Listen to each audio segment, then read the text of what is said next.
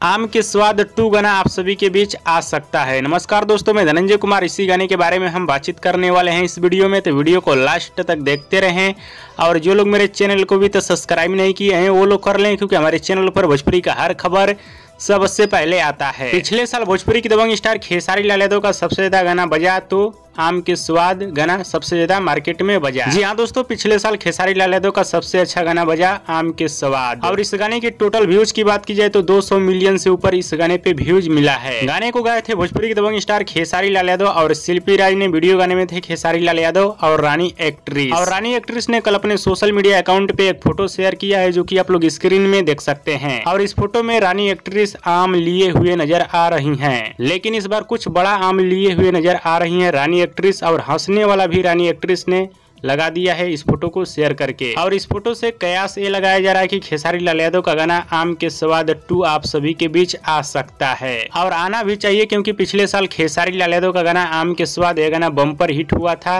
लोगों को खूब ज़्यादा ये गाना पसंद भी आया था। बाकी आप लोग क्या चाहते हैं? खेसारी लाल यादव की आवाज़ में आम के स्वाद टू गाना आना चाहिए या नहीं आना चाहिए, हमें नीचे कमेंट बॉक्स में ज़रूर बताइएगा। और आम का सीज़न भी बहुत जल्द आने वाला है। हाँ तो दोस्तों भोजपुरी के दबंग स्टार खेसारी लाल यादव के गाने का अपडेट। आप सभी को कैसा लगा, हमें नीचे कमेंट बॉक्स में ज़रूर बताइएगा। वीडियो पसंद आया तो ज़्यादा लाइक करे, कमेंट करे, शेयर करे, सब्सक्राइब करे। धन्यवाद दोस्तों।